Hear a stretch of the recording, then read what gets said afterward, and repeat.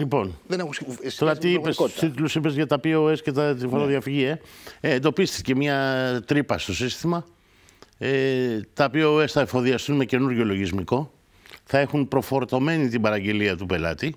Όταν ο πελάτης πληρώνει, θα εκδίδει απόδειξη στο POS και ταυτόχρονα μόλις γυρνάει το ο άνθρωπος που κα- έκανε τε- την αποστολή, το delivery στο μαγαζί, θα εκδίδεται και θα επικοινωνεί με την, με την ΑΔΕ. Μέχρι τώρα, όπως, πλη- αν πληρώναμε με POS, ε, με delivery. αυτό δεν Φαίνεται, γινόταν. φαίνεται ότι είχε τρύπα το σύστημα. Είχε και- τρύπα το σύστημα. Και καταφέρνανε και κάποιοι δεν στέλνανε τις αποδείξεις που έπρεπε να στείλουν στην, ε, Μάλιστα. στην εφορία.